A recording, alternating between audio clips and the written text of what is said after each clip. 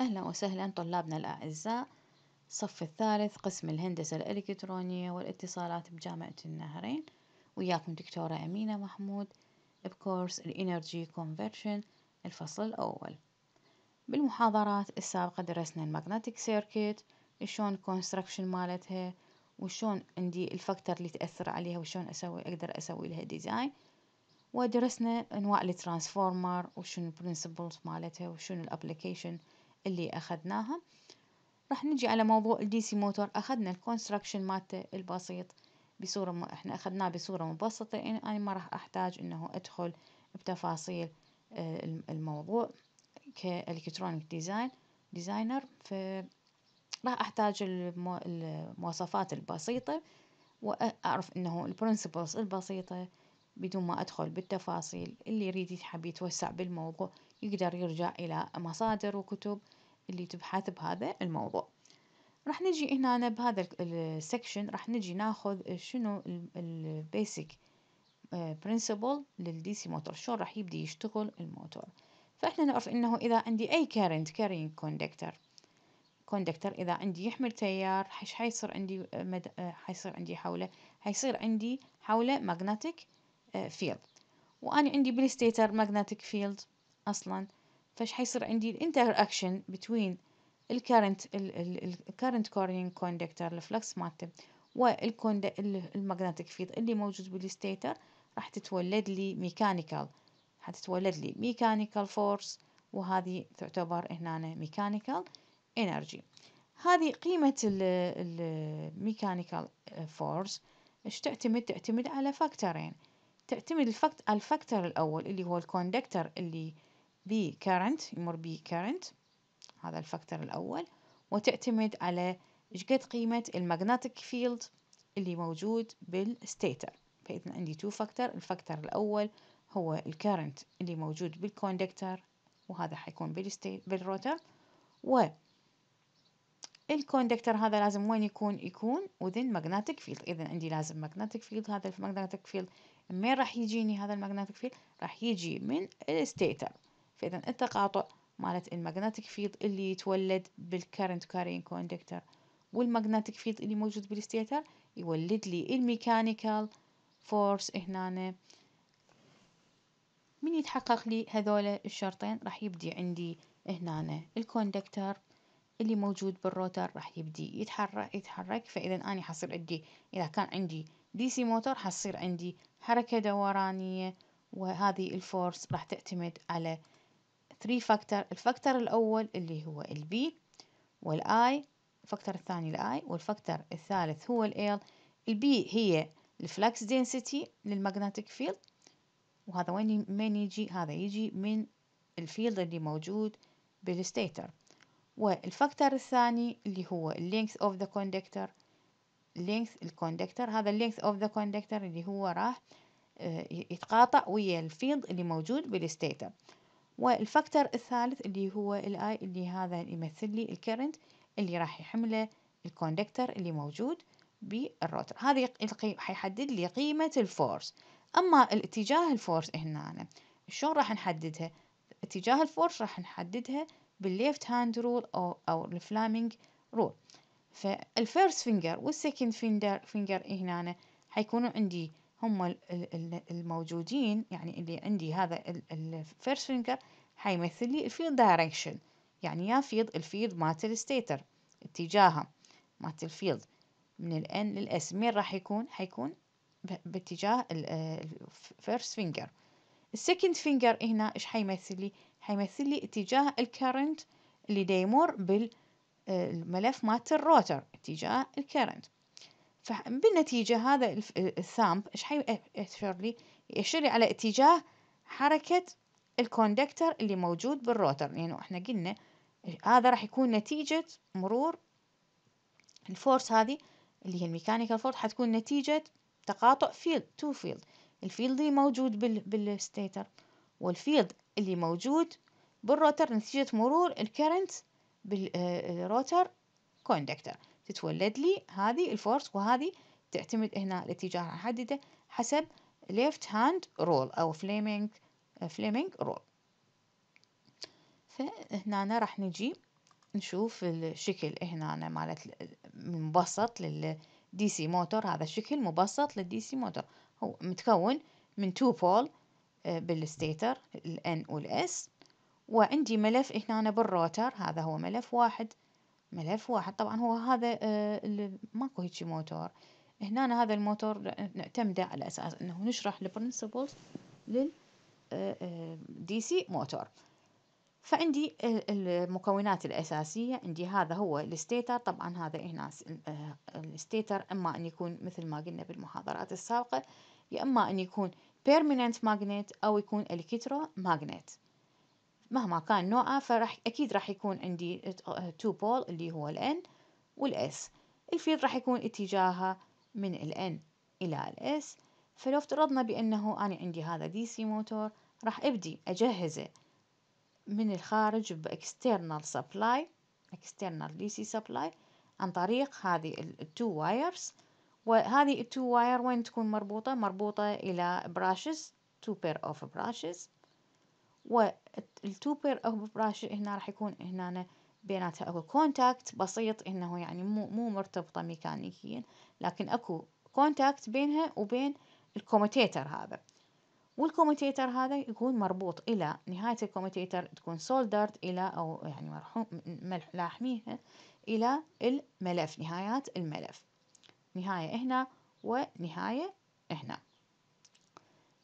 من راح نجي نجهز هذا ب supply راح يمر عندي تيار وين بهذا الملف. يعني ينتقل عن طريق ال brush وال commutator ثم ينتقل إلى وين؟ إلى ال windings طبعا ال winding هذا هنا حيكون اتجاهها بهالشكل هذا التيار ويكمل طريقه يكون بهالاتجاه وإلى أن يوصل إلى ال terminal الثاني. راح نشوف هنا اتجاه الحركة شلون حيصير. إحنا قلنا اتجاه الحركة يعتمد على Fleming rule فإيش راح أشوف راح أشوف إنه لو جيت على هذا ال side من الملف هذا ال side من الملف أشوف ال magnetic field اتجاهها من ال N إلى ال S وال current اتجاهها بهالاتجاه هذا. فإذا طبقت عليه ال Fleming rule إيش حيصير اتجاه الحركة لهذا الطرف أو لهذا ال side من الملف؟ راح يكون upward. بهذا السهم ال green ال green arrow حيمثل لي ال force اللي حتتولد لي. إلى ال upward حتكون. إذا طبقت عليها ال left hand rule أو ال Fleming rule ال current هنا راح يكمل طريقه بهالاتجاه هذا. راح يوصل إلى هذه ال side من الملف. راح أشوف بأنه ال flux هو باقي اتجاهه بهالاتجاه هذا. ال current عكس اتجاهه بهالاتجاه صار بالنسبة لهذا ال side راح يكون من بهالاتجاه. فال force هنا إيش حتكون النتيجة؟ resultant force راح تكون downward. حتكون downward. والقيمة مالتها قلنا تعتمد على هذا القانون اللي موجود. فإذا بهالنتيجة راح يصير عندي ال side هذا الأول side راح يكون للأعلى ال upward اتجاه مالته. وال side الثاني راح يكون downward فيبدي هنا. الملف إيش حيصير بيه راح يصير عندي حركة دورانية تكون مثل هذا اتجاه هذا ال gray arrow إذا حيكون عندي حركة الاتجاه بهالاتجاه هذا باعتماد القيم اللي موجودة عندي. القيم اللي تأثر قلنا على سرعة الحركة إيش قد عندي ال force اللي حتتولد لي؟ تعتمد على ال I التيار إيش قد قيمته بدها تمر؟ القوة ال flux density هنا إيش قد قيمة ال flux density وتعتمد على طول ال conductor اللي راح يكون عمودي على ال flux اللي موجود هنا. أما اتجاه الحركة قلنا نحدده حسب ال left hand rule طبعا إنه هذا الملف عندي اللي موجود هنا إيش بيه هذا الملف؟ الملف هذا من دا يبدي يتحرك. ال flux اللي موجود هنا بال air gap هذا هو طبعا إحنا ما راح ندخل تفاصيل شلون راح يكون بس آه لازم نعرف بأنه ال flux هنا ما راح يكون uniform شكله. راح يتبع على شكل حيكون شكل ال flux اللي موجود هنا. شكله يتغير حسب موقع الموقع بين ال N وال S pole يعني هنا الشكل مالت ال flux ما راح يكون ثابت داخل هذا ال air gap باعتماد إنه حسب إنه ال flux عندي راح ياخذ صح؟ هو راح يطلع من ال N لل S لكن شكله راح يتركز بأماكن ويكون خفيف أو ضعيف بالأماكن الأخرى. فمعناته إنه هذا الملف كل ما راح يتحرك ال flux اللي راح يقطعه راح تكون عندي قيمة ال flux اللي المتغيرة اللي تقطع الملف هذا. فبالنتيجة إيش تتولد لي على أطرافه؟ تتولد لي على أطرافه induce EMF يعني إحنا نعرف إنه induce EMF شنو قانونها؟ قانونها ال d phi by dt يعني شنو؟ إذا عندي conductor يتحرك بداخل flux متغير تتولد على أطرافه induce EMF حسب Lenz uh, لو فلو جينا على هذا الشكل المبسط وعرفنا بأنه ترتيب ال flux داخل ال air gap اللي يقطع الملف شكله يكون sine wave إذا اعتبرنا أنه شكل ال flux هنا يكون sine wave وعندي هنا أني ال induced EMF المتولدة على أطراف ال conductor هذا اللي بال rotor. قيمتها d phi by dt.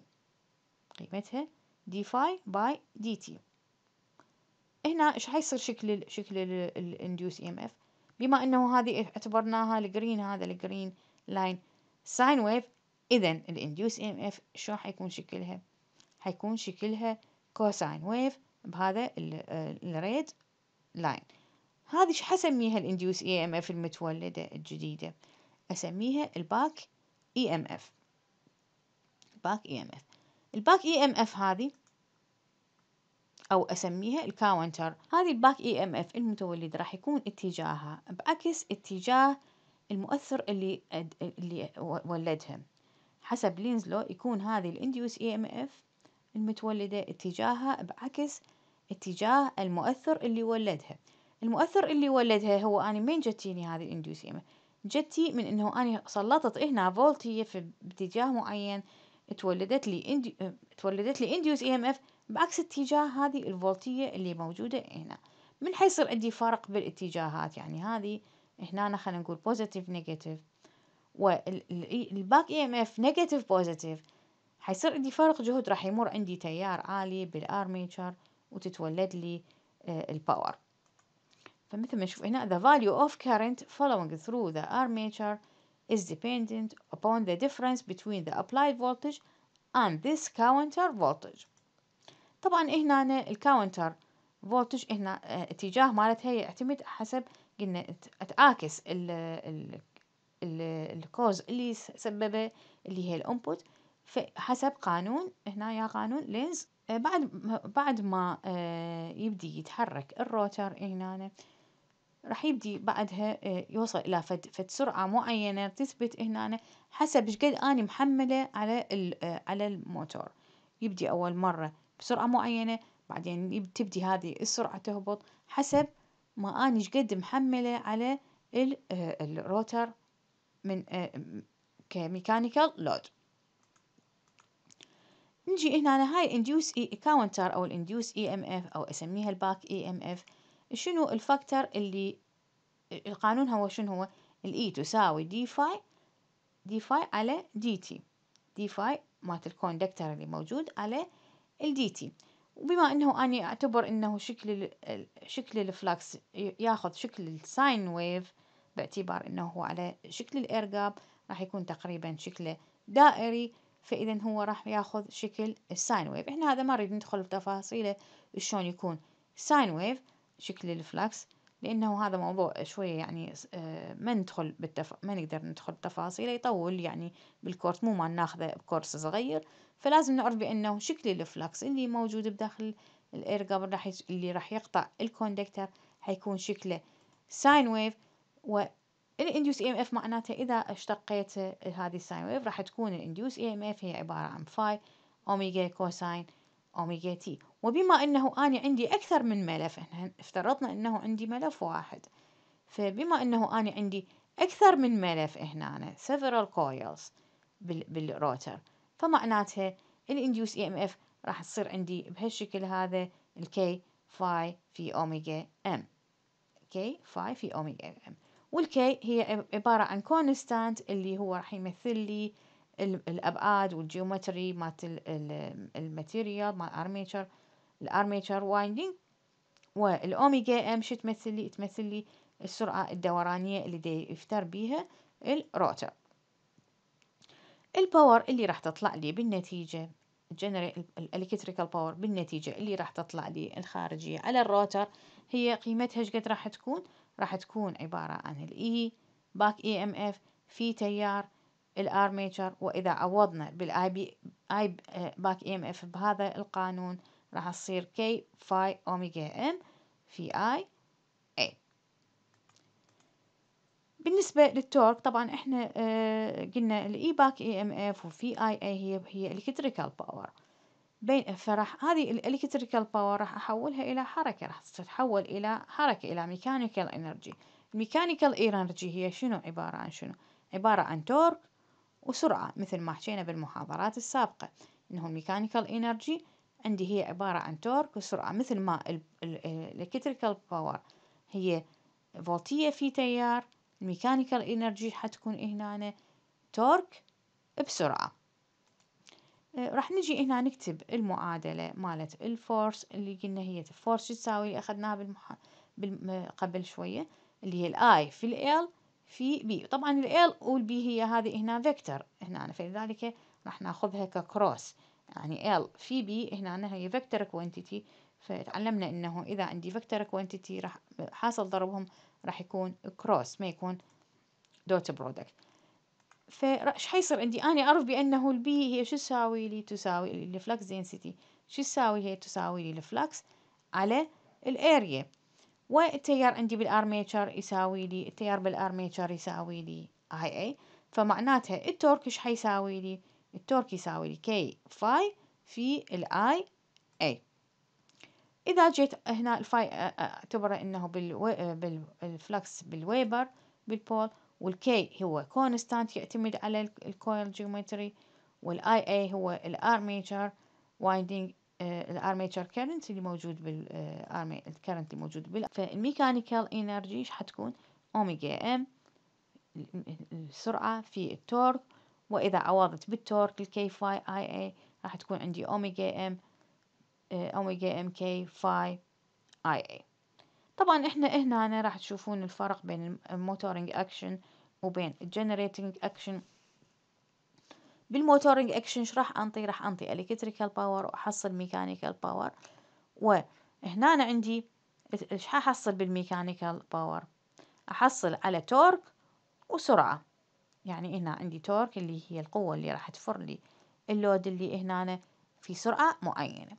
بينما بالـ generation action إيش حيصير عندي؟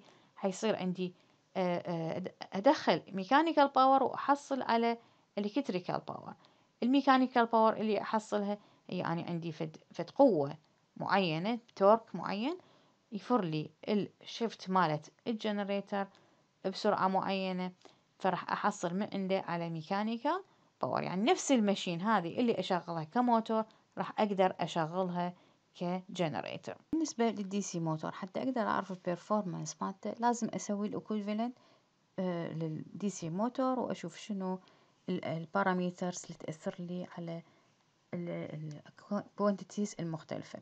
فراح نشوف إنه الـ DC motor بالحقيقة راح يتكون من دائرتين رئيسية اللي هي الـ field circuit والـ armature أو الـ rotor circuit الـ field circuit وين تكون موجودة؟ موجودة بالـ stator يعني فإذا كانت عندي permanent magnet أو electromagnet. هنا من حيصير عندي electromagnet حيكون electromagnet عبارة عن ملفات. فإذا الملفات هنا إيش راح أمثلها؟ راح أمثلها بـ inductor و resistor حجهزها بـ supply قيمته VF راح يمر عندي تيار مقداره IF طبعا هنا هذا إيش حيولد لي حيولد لي flux اللي هو راح يقطع الـ conductor اللي موجود بالـ rotor أما الجهة الثانية فهي الـ rotor. هنا اللي عندي أسميها الـ armature circuit. همينة عندي راح تتكون من ملفات وراح نجي ندرس المواصفات مالتها. فإذا الجزئين الرئيسية هي الـ field circuit والـ armature circuit. قلنا الـ field circuit الـ equivalent circuit مالته هي هي؟ هي مصدر VF وبعد عندي الـ RF والـ L الـ LF اللي هي مالت الـ winding هذه الـ IF اللي اللي مر هنا بالـ winding راح يولد لي الـ flux اللي راح يكون يسبب لي الحركة النهائية للـ armature بالنسبة لدائرة الـ armature اللي هي الـ rotor circuit راح أجهزها بـ VT V terminal اللي هي الـ supply voltage حتى أمر التيار بالـ armature لازم عندي supply voltage اللي هي الـ V terminal والتيار اللي راح يمر عندي هنا هو Ia الملفات مالت الـ armature مقاومة مالتها الداخلي هي Ra وعندي الـ back EMF اللي قلنا عليها الـ induced EMF اللي راح تتولد لي نتيجة مرور. التيار اللي هنا نتيجة والتقاطع مالت الـ flux اللي موجود بالـ air gap راح تولد لي الـ back EMF راح تكون هنا الاتجاه مالتها بعكس اتجاه المصدر اللي ولدها. يعني أنا عندي المصدر اللي ولدها هو minus plus هي راح تكون اتجاهها plus minus نيجي على الـ voltage equation الـ voltage equation شلون راح نكتبها للـ DC motor باستخدام Kirchhoff voltage law هنا بهذه الجهة Kirchhoff voltage law بهذه الدائرة بما أنه أنا عندي مصدر هنا وهذا هم راح يعتبر E back EMF كمصدر بس بعكس اتجاه الـ V terminal وعندي هنا. الـ R armature دا يمر بها تيار Ia فأقدر أكتب المعادلة V terminal تساوي الـ back EMF زائدا الـ Ia Ra الـ V terminal هي الـ applied voltage اللي راح أجهزها لل armature وال RA هي ال resistance مالت ال armature وال EB هي ال back EMF بالنسبة لدائرة ال field حتكون عندي؟ ال VF تساوي لي R field في ال Field. وال V field هي ال applied voltage.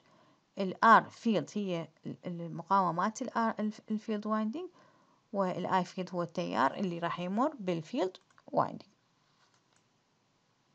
نيجي على موضوع ال power transfer equation. ال power transfer equation هنا يعني شنو؟ أنا راح أحول من من electrical power إلى mechanical power.